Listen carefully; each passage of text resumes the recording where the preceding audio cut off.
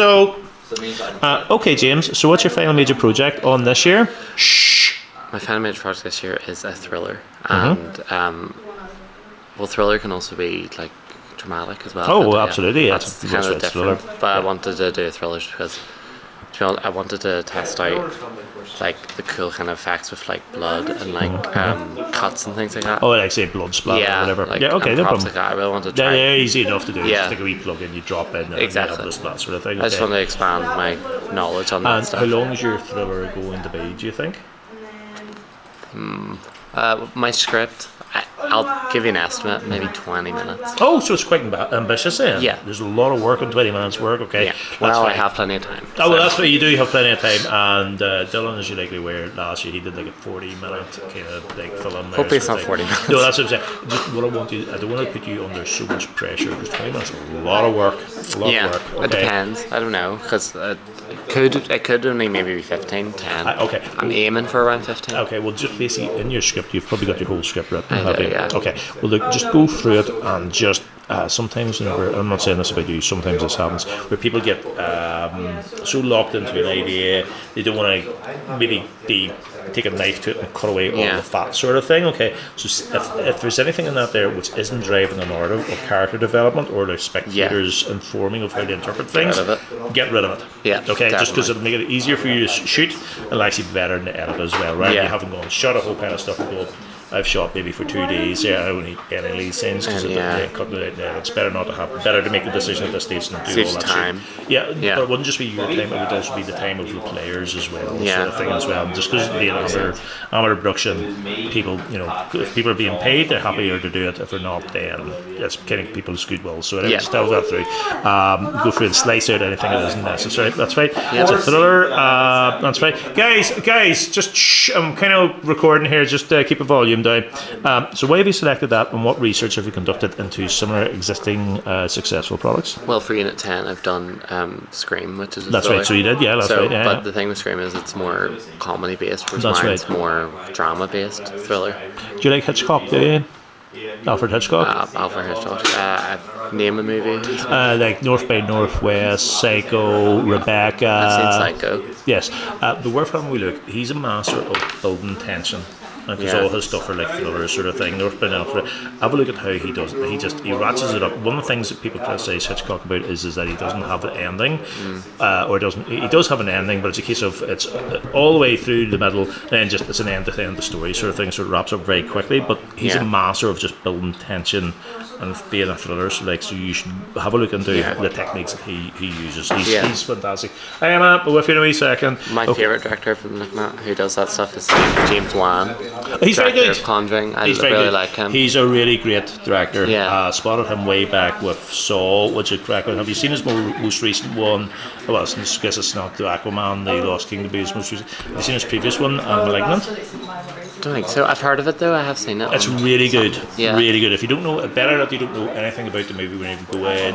Apart from, uh, it's a good thriller. It's about a girl. Someone's kind of stalking her and killing people around her, and it kind of goes on from that. But the less you know, the better. Because whenever the twist comes along, you're like, oh my goodness. Yeah. he's very good. Yes, Yeah. James Wan. I'm, I'm a big like fan him. of James Wan. Yeah, he's he's I like one of the best uh, modern day directors actually. So, Definitely. uh, Malignance.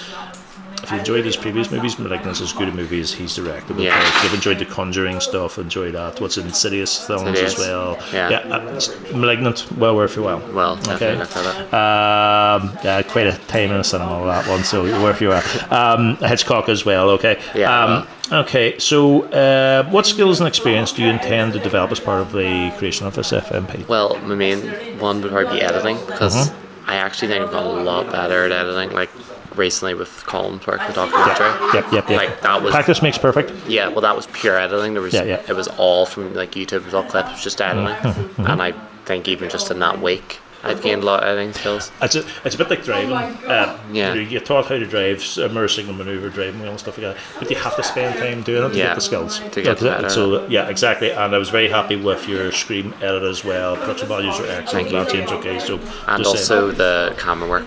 Camera work's one thing I really want to try to get better at because it's like you know all the rules and all the secrets of camera work, and I just want to learn more stuff like that. Um, a book that you may want to take a note of would be a book called The Grammar of Film Language by a guy called Daniel Arijon. Mm-hmm. Okay, it basically kind of goes through continuity, framing, etc. Obviously, you would have had, you would have known about the rule of thirds and such like Yeah, as well, don't we you? were taught that. Focal points, yes, that's right. Yeah, so don't be able to, don't be afraid to apply that, and obviously focus uh, as well. And whenever Yeah. you're watching a film, just critique. Uh, remember, I was doing the storyboard exercise with you guys Yeah, in the, in the first year, that. sort of thing.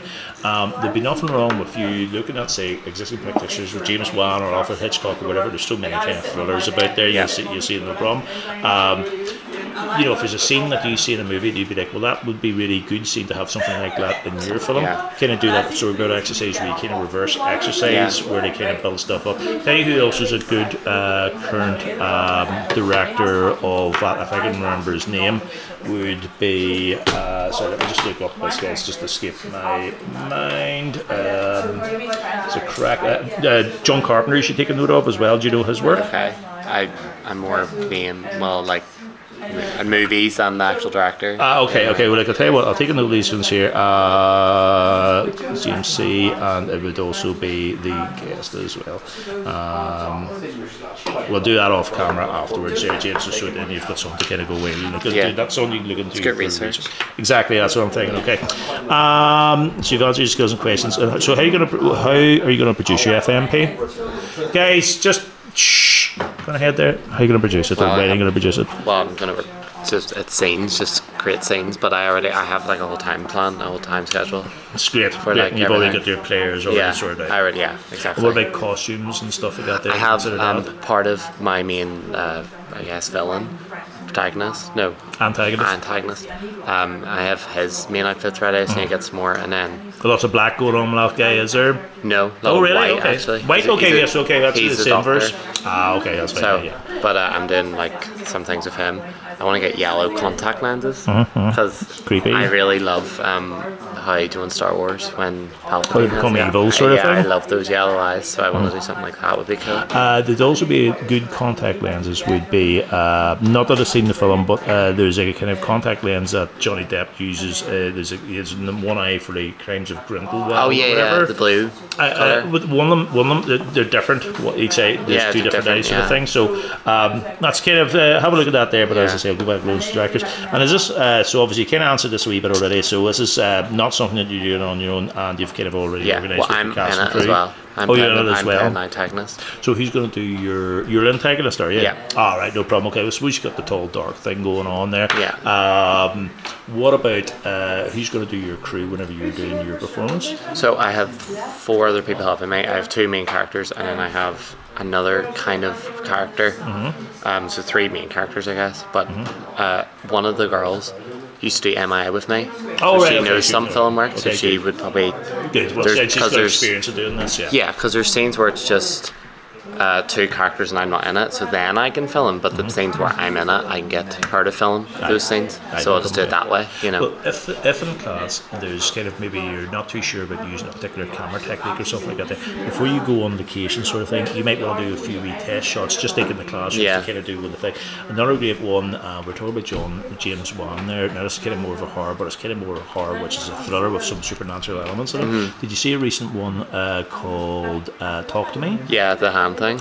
Yeah. What a great movie that was. Really? Did you not like it? I didn't love it. Oh, okay. Uh, the I don't know why. Okay, well, it, well, I mean, it is quite it is quite grim in places. Okay, but the reason I'm mentioning it is because they use a lot of very clever but subtle, um, just camera techniques to Yeah. build the tension, sort of thing. Yeah. And even what they do would be like, say, you'd have two characters talk like what you and I would do, uh, or what what what we're doing, and then basically all they do is pull focus from one person to the other. Yeah. And that really No, the, definitely. the techniques in that, that that might be worth a second watch just to observe the techniques that Yeah. they're employing and see what you could actually lift to help. I didn't know yourself. James Wan directed it. No, it's not James Wan's directed. Oh, right. That's actually two YouTubers who've been kind of essentially honing their craft for years on YouTube, and then they felt that they'd got reached a skill level that okay, we're, we're at a level now we can Oh, produce a really okay, good. cool. Exactly. This is another reason. It's a good way of doing it, like Exactly. through YouTube.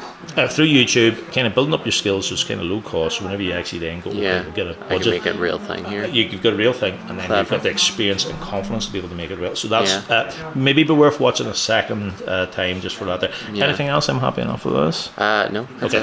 Uh, so a couple